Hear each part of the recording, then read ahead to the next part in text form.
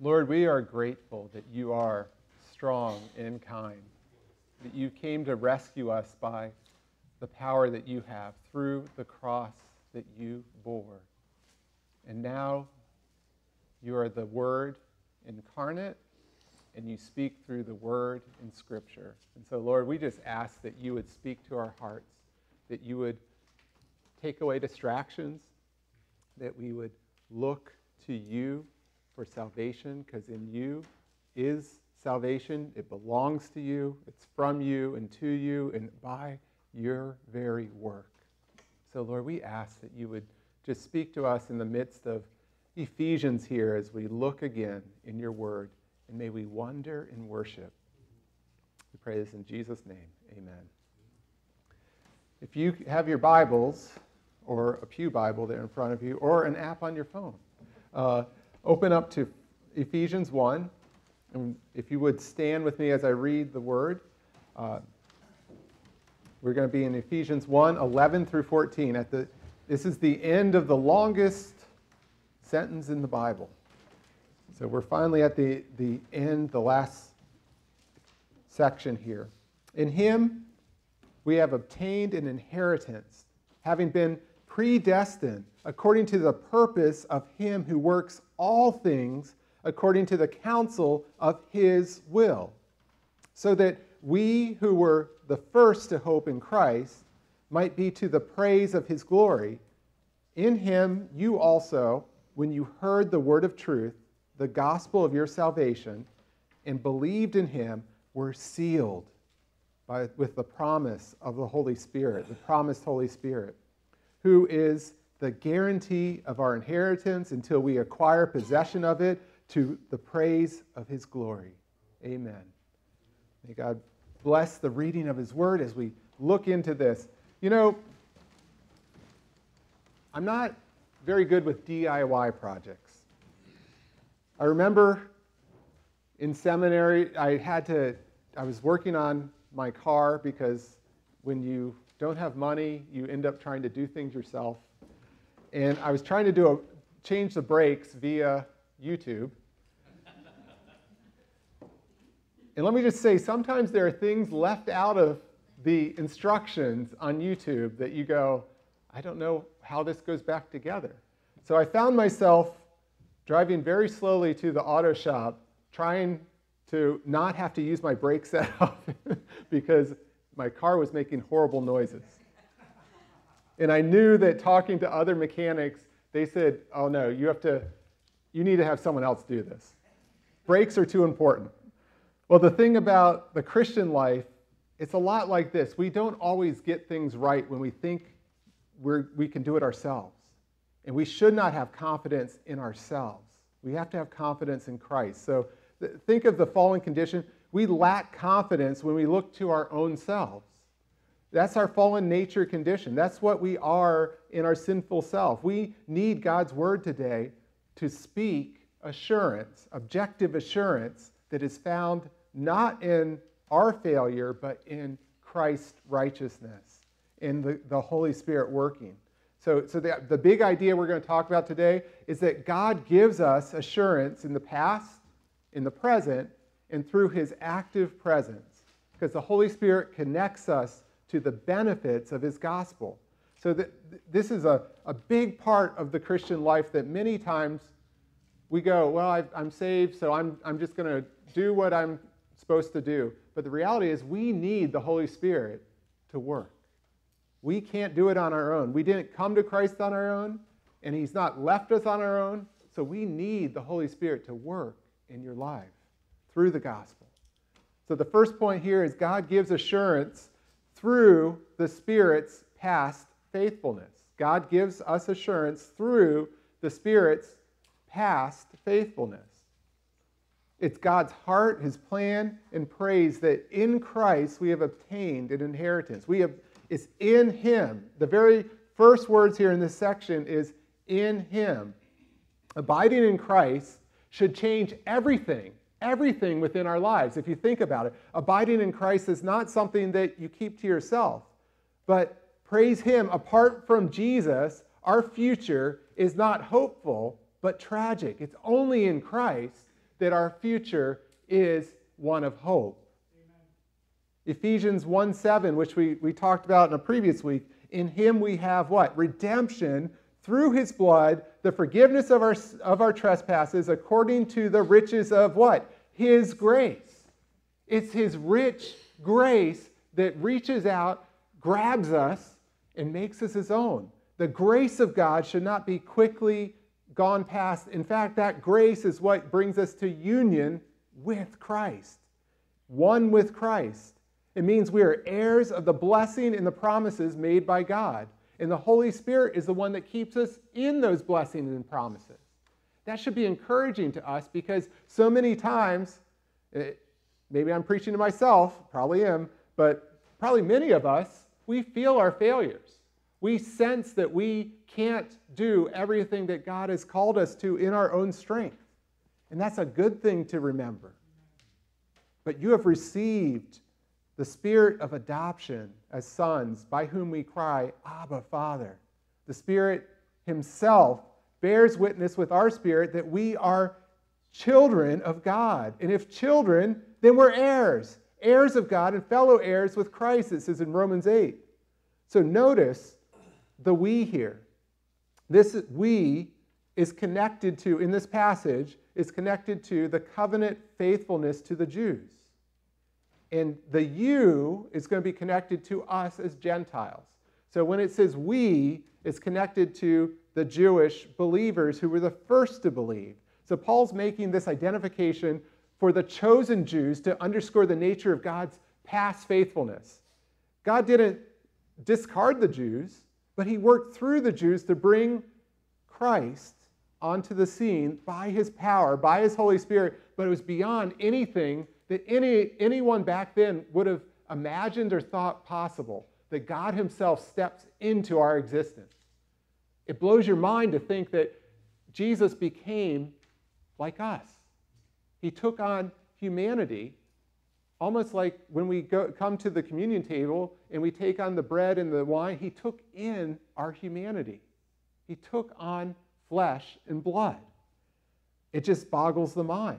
And so God reveals the beauty of his heart, his plan, the reasons for his praise, that all powerful encouragements to the imperfect Ephesian believers. He's showing how perfect he is in the midst of our imperfect lives, our imperfect realities, that the perfection of Christ comes to bear on every part of our lives today. This should be encouraging because it, it then leads to adoption. Adoption is a glorious prospect when you think about it. The family of God is now where we belong, but before we belong to the kingdom of darkness and of death and of sin. And yet we're adopted. But when, you, when the fullness of time had come, Galatians 4 writes, God sent forth his son, born of woman, born under the law, to redeem those who are under the law, so that we might receive adoption as sons.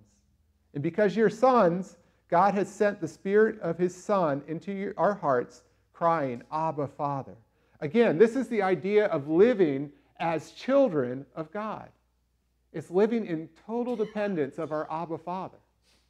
Not living as if, okay, God saved me, now I have to do this other thing. No, living out of that goodness, of the kindness that the Holy Spirit brings us to the Father, that we cry out to the Father we have obtained an inheritance. Our lot or portion, that, that word inheritance is a portion has been given to you, riches of grace, blessings in Christ. We are to live to the praise of whose glory? His glory. So, all this is the connectedness that God is working. He's, he's brought us to Christ, He's obtained the inheritance, He's adopted us. In the Greek, uh, the inheritance indicates that we are apportioned an inheritance. For we are those who made are made to, to be the inheritance rather than those who have obtained an inheritance. So the idea here is that God has given us an inheritance, but we are also an inheritance to Him. The apostle is making it clear that God's love is based on something in His heart rather than anything that we could achieve or claim in ourselves. Think about that. God has done this, and it's glorious. The loving faithfulness of God that is revealed in Christ is the cause, is the, is the, the gift that God has given. In fact, Deuteronomy says, You weren't a people that was great. You, you, you weren't a people that were, you were chosen because you were so good, but you are chosen because God has placed on you his love. You are his treasured possession of all the people of the earth. But it's not because of the number or how great you are, but you're the fewest of all people. It's not because of your righteousness, Deuteronomy goes on to say, or integrity. The Lord your God is giving you this land to possess, but you're a stiff necked people. So remember this and never forget that you provoked the God, your God, the Lord, to anger in the desert. See, the concept of choosing is actually being used here to comfort God's people. Paul wants everyone to remember that we are loved not because of what is in us, but because what is in God Himself. This, this turns the world's idea of religion on its head. The loving faithfulness of God that is revealed in Christ is the cause for us being His. He's chosen us. Remember, He's chosen us. That, that should bring wonder and praise to our lips that the inheritance, He shows up to rescue and redeem a people, to make His own possession, and give us unlimited riches in Christ. This portion of riches that is in an inheritance is limitless. Unlike earthly inheritances, which run out, it's not a portion that he's saying, you just get this much. He's saying, you have all of me. What an amazing God we, are, we have. In, uh, earlier in, in Ephesians 1, 5 and 6, it says, In love he predestined us. In love he predestined us for adoption to himself as sons through Jesus Christ, according to the purpose of his will, to the praise of his glorious grace, which he has, which, which he has blessed us in the beloved. Because we are in Christ, because he has chosen, he's gone after us, redeemed us. He didn't leave us on our own. The Old Testament, New Testament, all the people of God are called to be his portion and his inheritance. And being his inheritance, he's not going to abandon us. He's not going to leave us to our own devices. He is going to rescue again and again. This is by God's own choosing, for he is the active agent who apportions the inheritance by his own loving, predestined purpose. This isn't based on, he didn't wait for you to do something good. Instead, before time began, he set his love on you. And that's what gives confidence to the Ephesians. The Ephesians are in a wicked and idolatrous culture. One of the biggest temples, the biggest temple in the world to Aphrodite is there. It's, it's known, in the, all around them is magical thinking of, you know, I just have to do this, and then I can change my fate. But you know what?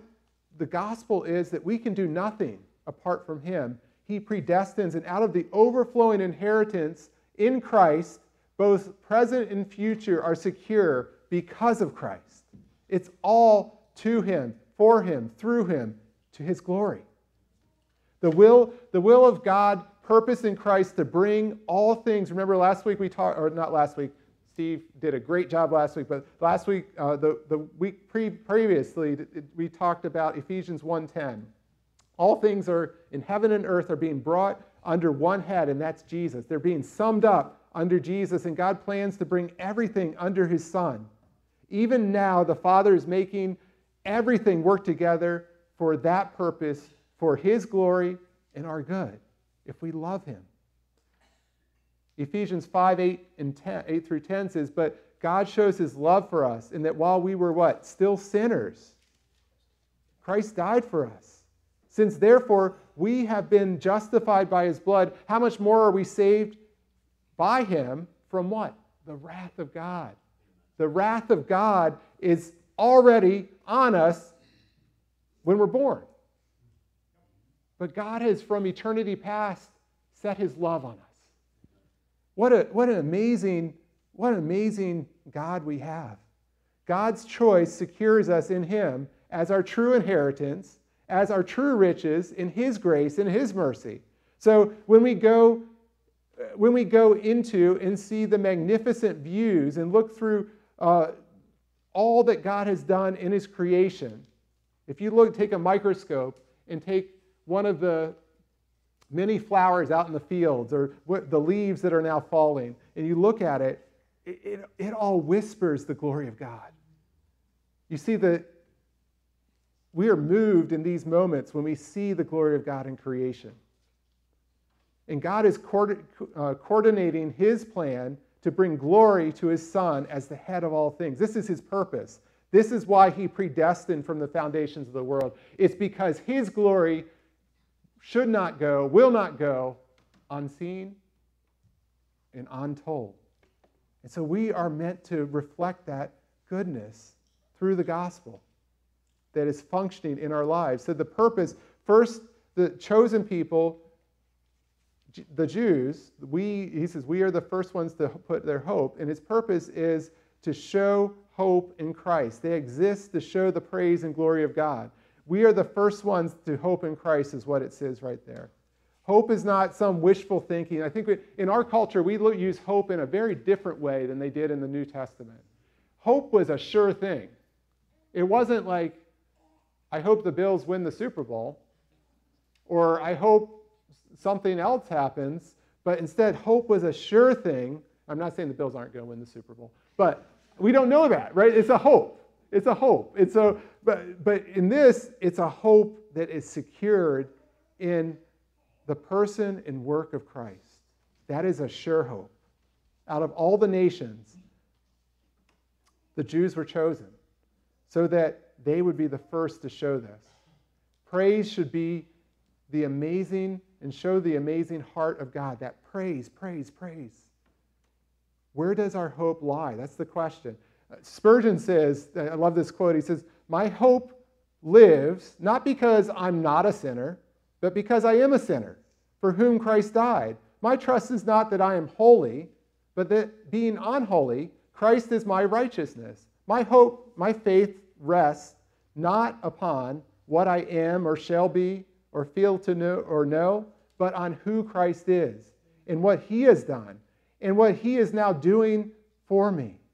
So may that reflect the praise that he is due. Living to the praise of his glory is, is what we're called to. If you've ever seen the movie uh, Joe versus the Volcano, it's, it's an old movie for you young kids, but uh, Tom Hanks at one point is, is, is, is, very young Tom Hanks is on this raft and he's thinking about all the, the problems that he's had in his life, all the mistakes, all of his failures. And he looks up at the stars, and at first they seem like they don't connect. And then suddenly he starts seeing the constellations, and he sees kind of the order of the universe and the plan of the whole universe in, in, in how the glory of God is shown in the sky. And he speaks to the heavens at one point. It's kind of interesting. I don't think you'd see this in, in a, a movie today, but he says, God, I thank you for my life. I did not know that you were so big. I had forgotten. God has a whole universe plan that we can't, can't be undermined. We can't, we can't mess it up. Our whole lives are designed to give him glory. Sin and failure will not stop his plan for Israel or for you. God's plan is certain and it's going to happen. The lines of God connect the events of the past and the events of our lives and the experiences of others so that all might be to the praise of his glory. That is what God's doing. God, God's glory is who he is. His essence, his power, his majesty, his purity and holiness. We live to the praise of a God of all glory, declaring that he is the one true God who made everything. Isn't that amazing? God is so good. So we, we see God's past faithfulness, and we see that it leads to faithful, uh, his faithfulness in the past shows us his faithfulness in the present of a weak people, that we need God presently, every day, moment by moment. So God gives assurance through the Spirit's present faithfulness. This is objective assurance that God gives through his the Spirit's present faithfulness. That's point two. So God gives assurance through the Spirit's present faithfulness. So he's expanding his covenantal vision here in the people's understanding as the Ephesian believers are reading all this, and, and there are mixed congregations. So think of this these are Jews and Gentiles together in Ephesus, one of the largest cities in Rome. It's, the, I think, the third largest city at the time. And so the apostle speaks to the Ephesian Gentiles, and he says, And you also, you're included in Christ's plan. This is how Paul sees our salvation, the Christian life, the covenantal promises to the Jewish nation are now extended to the Gentiles. This co inclusion in Christ shows the theological basis for Paul's later argument that Jews and Gentiles now are fellow members of the same family and the same body of Christ, that we're grafted in. Isn't that, that, that should just bring praise when you think about the fact that we were once far off and now God's brought us close. He's grafted us into his family through the gospel. Not because of how good we are, but because of who Christ is and how good he is. Having, having no hope without God in the world, Ephesians 2 will tell us later. He says, having no hope without God in the world, but now in Christ Jesus, you who were once far off have been brought near by what? The blood of Jesus, blood of Christ. So we have heard the word of truth, and this word of truth is referred to as the gospel because you had uh, Colossians 1:5 says, Because of this hope laid up for you in heaven, of this you have heard before in the word of truth, which is the gospel. God's plan is for the present age of our time, and who everyone who hears the gospel, God's purpose is being brought about. His purpose is coming about to bring many sons and daughters to glory. What a gracious God we have, because we don't deserve that. We deserve wrath, it says, but yet He gives us His grace and mercy. He extends it to us as the least of sin, the most sinful.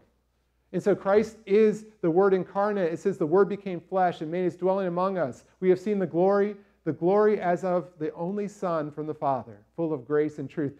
This grace and truth that Christ extends, he's extending his mercy to a sinful people.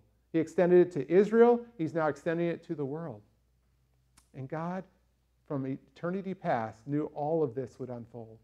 He predestined it. God's involvement of all things in his plan is more than just an expansion of the covenant, it's an extension of his mercy. It's not an expansion of, it is an expansion of his covenant, but it's an extension of his mercy getting bigger and bigger, growing. What did, did the Jews do to be the chosen people? What did they do? They did nothing. They did nothing, really. God's blessing was based on his mercy, not on their merit. And same with the gospel. The gospel is salvation for those who believe. For I'm not ashamed of the gospel, for it is the power of God for everyone to believe, who believes. For in righteousness of God is, the, is revealed from faith for faith, as it is written, the righteous will live by faith. So the righteousness is being revealed through Christ. And it's His righteousness it's objective, not our works, His work.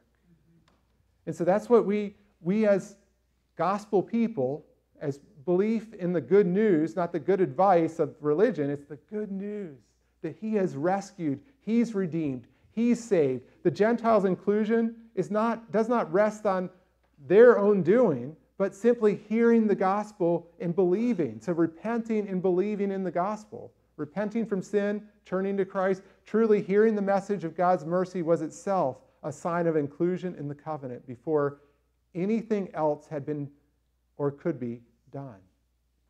And he said, John 6, 65, this is why I told you that no one can come to me unless it is granted him by the Father. So we believe in him, we rest in him. He is the one that does the work. We are the one that receive the benefit. The greatest, think about this, the, the greatness can be comprehended only by remembering the pagan context of the Ephesians world. See, human pride, false morality, and even deceitful idolatry had all thrived within Ephesus. But then God calls the people from, from this place to be his own before they had done anything to qualify for his, this love of, and this sign of great grace. God's willingness to be faithful in the face of great human frailty, sin, and unfaithfulness shows how the wonders of his mercy, shows the, uh, the abounding love that only Christ gives. Christ is glorified both because more persons are subjected under his rule and because his care for them shows how big he is. The big picture is being a part of God's plan means all things happen for our good and his glory so we can rest in him. There's big mercy to be had within our big God.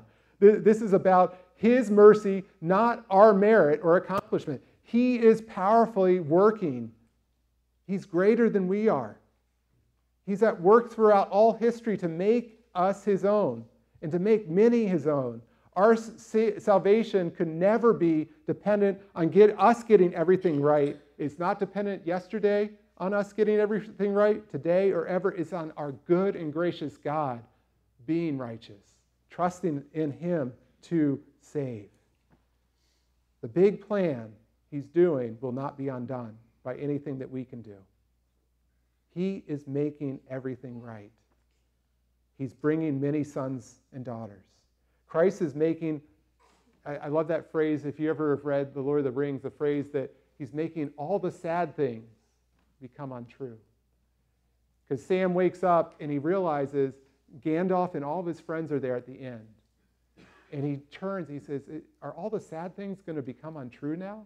And that's what God's doing through heaven, through his son. He's undoing the effects of sin, he's disentangling the spell that this world is under, thinking that they have things right and they're under the evil spell, if you really think about it. We need a gospel to release people from that. We need to tell people of the good news of Jesus.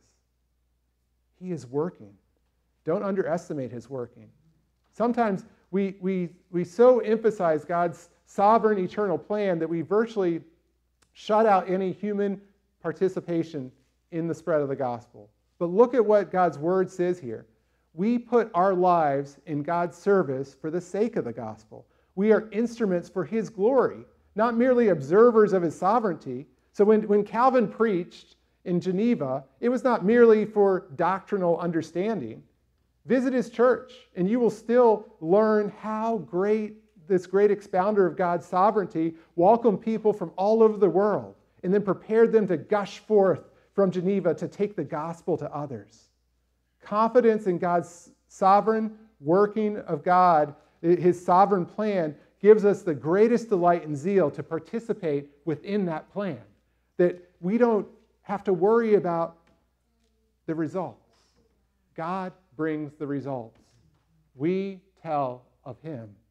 And that's what we're called to do. He, it should affect every part of us. And as God's people, we extend God's mercy and glory. And, and having experienced great mercy from God, we spread his glory wherever we go. Nothing is futile.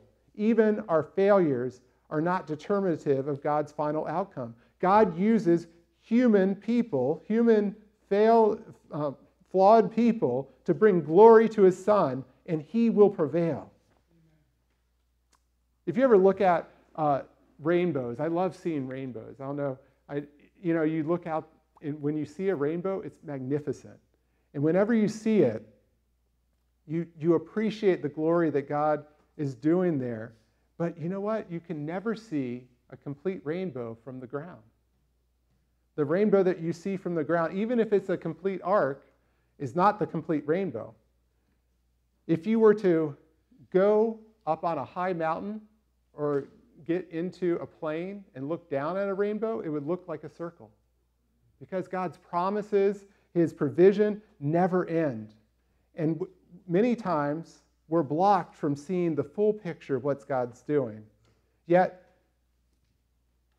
when the earth does not get in the way, you then see God's design. And that's what we need to see. Paul moves the earth aside so that we can see God's entire plan. He lifts us above the earthly perspective, showing showing our lives from the perspective of heaven. And, and, and, there we see the whole design of human history. We are raised above the limitations of our sin and our finitude so that we will see from the beginning God chose us in love. He made a people for his own and promised that from them would come those who would believe in Christ and, and those who would be his instrument to tell others so that the world would come together in the praise of his glory. All things are being worked together to the conformity of Christ's purpose and plan, to the praise of his glory. See, God's perspective on the flies in the face of other perspectives is at odds with a secular world. You think about the secular world, they think of the here and now as the only thing that exists. But we use, we use language to divine purpose and design, not random chance. It's not random chance that we exist, it's for God's glory. It's at odds with a personal world where there's questions and doubts of God's design due to pain and suffering and troubles and sin.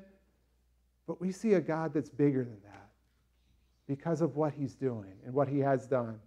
It is so hard to see divine design when you come to illness when your child is ill, or when the church seems to be troubled by needless debates and, and all things that are happening, when you struggle to hold a family together or simply to make financial ends meet. Yet, when our eyes see the full rainbow of Scripture, the completeness of God's plan, and know by faith that our lives are a part of God's design no matter what happens, then we can take whatever comes because we know that we exist not for ourselves, but as part of His glory. That gives us extreme, extreme comfort. When you think of how the world is from the beginning, the world was made to be good and for His glory, for God's glory. And then, like a balloon punctured, it was deflated at the fall. The glory uh, was left crumpled as remains of human misery and earth uh, corrupted by the fall of, of Adam. And yet, Ever since, according to the nature that is in him, the Lord has been following a predetermined plan to refill that balloon and make it more glorious than ever with his mercy, ever expanding and extending the balloon to its original glory. First, the mercy was extended to a chosen people through no merit of their own. And then from them came those who were the first to believe in Christ. And then they carried the message of mercy to other nations who now, as a result, we are now standing in the grace of God for His glory. We stand. Expounding, expounding this promise, the, the Holy Spirit seals us. So think about sealing. What does it mean that the Holy Spirit seals us? We are called to bless God because of the gift, the Holy Spirit, who now indwells us. He hasn't left us on our own, uh, but you are also by also the means by which we are sealed is a guarantee that we will have or will receive our promised inheritance. Uh, Ezekiel 36, which in the men's Bible study on, on Saturday, we haven't quite got there, but, but that's, that's where we're marching to, is Ezekiel 36, 26 through 27. And I will give you a new heart and a new spirit, and I will put within you uh, I, uh, the new spirit I will put within you, and I will remove the heart of stone from your flesh and give you a heart of flesh. And I will put my spirit within you and cause you to walk in my statutes and be careful to obey your rules. So, so this, the idea of sealing, of being sealed by the Spirit, conveys at least four different ideas and probably more. Um, it, it conveys security. God is watching and guarding you by his Spirit. Uh, authentication. God is saying, I, I haven't left you, I'm right there with you uh, genuineness. It, he genuinely saves and personally delivers you to himself. And then identification of his ownership over you. God is to be blessed because he seals believers with his spirit, claiming them as his own and securing our inheritance in Christ. In Christ. That's the inheritance. That's where, where God is, has, holds us close to himself. And it is God who establishes us with you in Christ and has anointed us and has also put his seal on us and given his spirit in our hearts as a guarantee. This is 2 Corinthians 1 21 through 22. God gives his spirit as a guarantee, he seals us. May we grasp that such a vast, it's intricate, vast, intimate plan is true and applies to us by His Spirit. See the difference it makes believing that the trials, as well as the accomplishments, the, the difficulties, as well as the joys, these are not brute forces or random chance, but it's all part of God's eternal tapestry of a plan for His glory and our good. So, does He bring assurance that such astounding truths do apply to us? I would say yes. He brings assurance that they apply to us. He has not left us on our own. So, the assurance this, that reminds us of past faithfulness, present faithfulness, but also of the Spirit's ongoing faithfulness. So, the the third point there is God gives assurance through the Spirit's sealing faithfulness. He seals us. And so God's promise is guaranteed to in the Holy Spirit. If you think about sealing, uh, it's, it's, there's many times in the Bible where you see this concept of something being sealed. And, and one of the first ones is Noah. Noah goes into the ark, and God seals the door. He he seals them, guaranteeing their salvation. It's the promise that God is going to bring them through the judgment into new life with Him. And the guarantee is a function, it's a down payment. This is the idea of God, of let's say you go to buy a house. And what do you do? Do you say, oh, I'll buy the house, you can trust me? No, you put a down payment on there, usually a large amount, that says, yes, I have the financing, I'm going to buy the house. Here is an amount to guarantee that I'm coming back to buy this house. And that's, God has given his people, the Holy Spirit, with the expectation and the assurance that the full inheritance is soon to come. It's not a, it's not a wish, uh, pie in the sky wish. It is a fully guaranteed hope that God is coming soon. And as part of God's redemptive plan, he marks with a seal that guarantees we receive the full rights of God's inheritance as, as his kingdom is coming, and everything will be made right. The, the Holy Spirit is not just the mark of God that we are his possession. The Spirit is a deposit guaranteeing the redemption is sure to come. It's not, it's not just some, some other wish thought, it is the deposit that everything will be made right one day.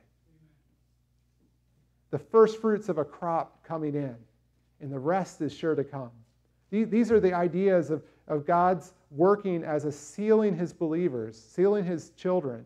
The Spirit is the first evidence of the full promise of God's complete plan of salvation. You were included, it says, you were included in Christ when you heard the words of truth, the gospel of your salvation. Having believed, then you were at that time marked in him with the promised seal. The proof of the presence of the Holy Spirit is not in, uh, indic, indicated by the distant expression of an extraordinary charismatic gifts. It is a God who has brought us saving faith. It's not some other that we're looking for, it's God Himself. Belief itself indicates the presence of the seal, the mark of the, the Holy Spirit, guarantees us as God's children because without the Spirit, we could not and would not believe. And so the natural person does not accept the things of the Spirit, 1 Corinthians 2 14. They think of them as folly. And so it's only because of God's gracious Spirit that we can discern what is true. See, our, Spurgeon writes, Our hope in Christ for the future is the mainspring and the mainstay of our joy down here today. It's the mainspring. It's, if you think of a mainspring back uh, I, as a kid, I had gotten a watch where you would wind it up every day, right? There, there was a mainspring in the watch itself. And so the Spirit kind of winds our lives every day, reminding us what Christ has done, reminding us the good news of the gospel, that it's not good advice, but it's something that's already secure in Christ Himself. And this is something that gives us hope because it's not a maybe or a I hope it's going to happen, it's a surety. God's inheritance is here and it's coming through the Holy Spirit. Promises are fulfilled by God's word and his spirit. Think of Abraham and Isaac, right? Abraham is waiting for a, a son, an heir. And what does he do? He goes out and he says, well, God's not giving it to, to me in the time that I want. And so he goes and seeks, you know, his wife goes, well, here's Hagar. And so Hagar gives birth, and God says, no, that's not the son. There's still a son to come. The whole idea here is that God's promises are f- fulfilled in God's ways. God's ways are what we look for. Paul speaks of an inheritance while he's sitting there in a prison in the midst of Rome. And he speaks all throughout the prison epistles of the hope we have in Christ. This, this is a powerful statement because think about it. You're sitting in, in prison. Most of us would sit there and go, well, this is hopeless. But the reality is, Paul is looking not to his circumstances, he's looking again and again to Jesus. So Jesus spoke of the inheritance of the kingdom and eternal life in his ministry in, in the midst of being persecuted. And even in the Old Testament, people were also promised an inheritance in God. So we see inheritance all through the language of, of, the, of the whole work of God's Word, His Bible. But God also says that we are His inheritance as sons, as, as saints. So God loves us. He's sent His Son, He's sent His Spirit to seal us and because of the gospel, we have sure hope that the Spirit is working as we see we weren't, we're not what we were yesterday, but God is working out His goodness and His faithfulness progressively each day of our lives. And one day, one day when we see Him face to face, we'll experience the full aspect of that inheritance because it will be in Christ Himself. God's redemption is, require, is acquired by the Spirit. He seals us like you think of what happens in the tomb at Jesus. What do they do? They guard it and they seal it. And they can't stop Jesus from rising from the dead. The guards fell down as if dead, right? They, they can't stop it. And that's, the, that's how Christ seals us. Not like they sealed the tomb of Christ where they couldn't do anything, but how Christ rose again. He now comes and guards us by, his, by the very presence of his Spirit. That's what gives us assurance that God is surely working, He's surely active. So the presence of God's Spirit will not be undone, but continues to grow until we acquire the full possession of it. Although the inheritance of believers will certainly include the blessings of eternal fellowship with God, because the Spirit indwells people, it indwells us as believers, we can even now begin to enjoy the joy of that inheritance we need to realize that that joy can be found in small tastes here on earth. In his, his people, in his word, as you look to him, as you trust him. Remember how the supernatural, the, the gift of faith is. The gospel says that you were sinners, and Jesus, the Lord of all, the Lamb of God, died for you. The world doesn't believe that. The, the gospel says that when, even when you were faithless, the faithful God has forgiven your past, laid claim on your life, and secured your future. The world doesn't believe that either. The gospel says that, that though you were dead in your trespasses and sins, Christ died for you, rose from the dead as a victor over your sin, and gives purpose to your life. And one day he's coming to claim you eternally. The world can't believe that either. So not only, not until the Holy Spirit comes and supernaturally changes a heart does anyone see the truths of the gospel. So your believing is evidence that the Holy Spirit is in you, working for your good and his glory. That's our God. The Holy Spirit has already enabled you to taste the sweetness of God in the gospel of your salvation. And it's given you a foretaste of that glory that awaits and guarantees by his mark and belief in you. Already the Holy Spirit is, is using the gospel. Your spiritual world has been turned upside down and made new. Your belief is proof that the Bible is true. And when it says you are new creation, we know that God surely has worked. In addition, this testimony of God's Spirit in your heart affirms that the Bible says that God's work throughout creation can be trusted. The Bible says that the entire creation is being conformed to the purpose of his glory.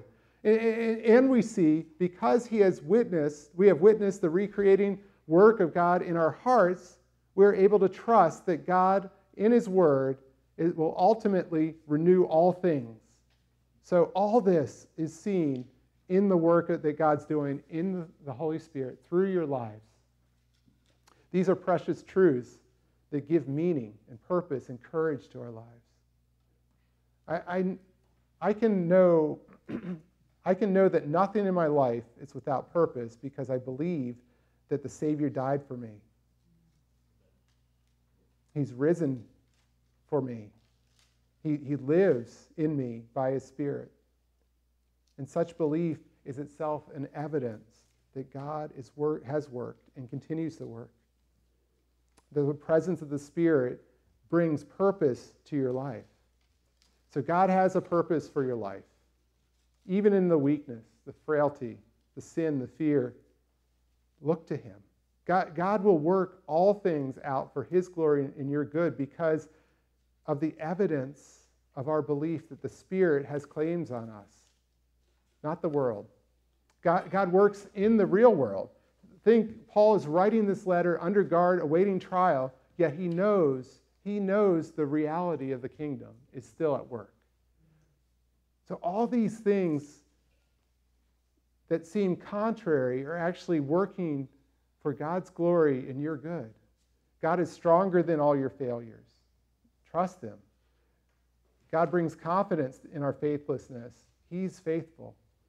God brings assurance even when we, we suffer or feel the, the weight of this fallen world. So Christ's salvation to his praise and glory is all about him. All about, he is the hero of the story, not us. He is the one who comes to rescue and redeem his people. He saves us by the power of his glory and will. So, all throughout this passage, just to sum up here, this, this long sentence, God, the, the triune God here, is at work in and through your lives. He was at work back in Ephesus, he's at work today.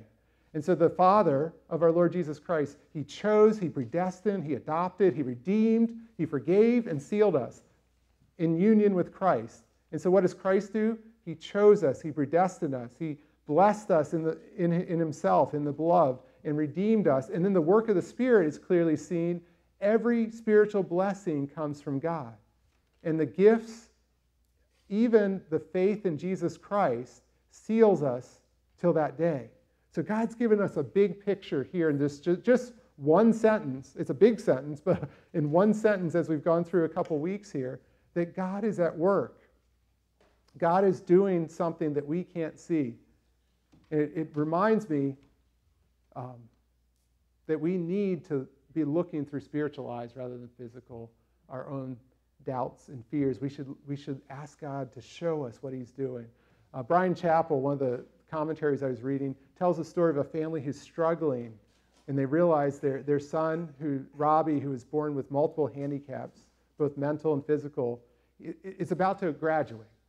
And they, they realize they're going to lose a lot of support from the school system when that happens.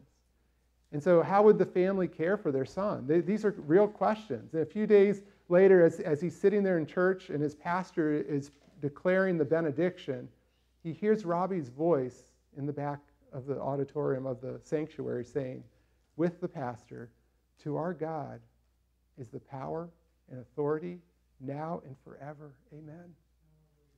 It was Robbie who, from his wheelchair, was testifying of the power and sovereignty of our good God, past, present, future. How would Robbie believe? How could he believe? That these things, in light of all the anguish and suffering he had suffered, all, are all things working together or are they not? They are working together for good. So faith in Christ rises above the world, above the earth, and it sees from God's perspective. Let us see from God's perspective. God's promises are sure. Every valley will be lifted, every injustice made right, every tear wiped away, hearts healed, bodies made whole, sad things become untrue because of the promises of God being realized. And then our, our, our Savior is working in all things. Believe Him. Just look to Him. He holds you through it all. The Spirit speaks assurance in your heart and life. by all that He's doing in you and through you by the power of His, his Spirit. This should be astounding. So, this deposit, the deposit of God's Spirit, shows full redemption is ahead. All is in God's hands, even when we can't see it right away. And all is to the praise of God's glory. So, even when you cannot do everything right, even when things seem all wrong, you are all right with God because He who chose you is working out everything in conformity with His purpose, His will, to the praise of His glory.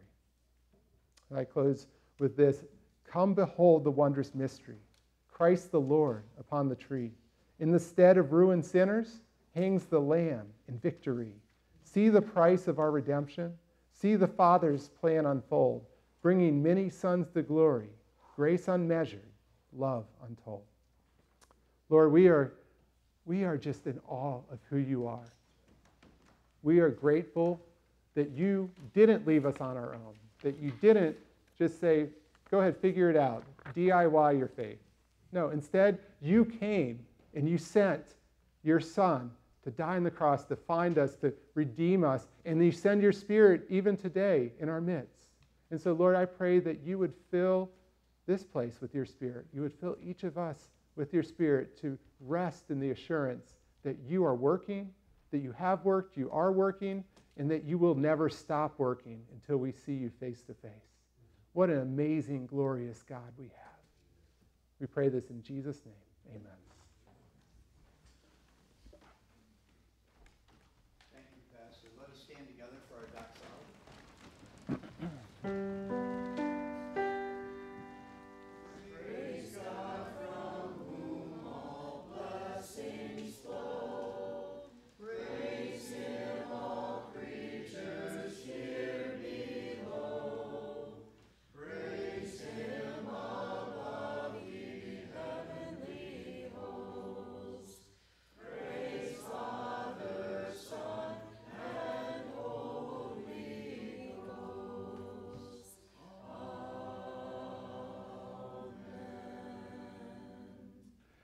And before I, I um, read the benediction and we say, I say the benediction, I just wanted to remind everyone that the 21st we're going to have a meeting for small groups. So if anyone's interested, if you're not sure, you know, come out to that Saturday meeting. I think it's at four. It's in the bulletin.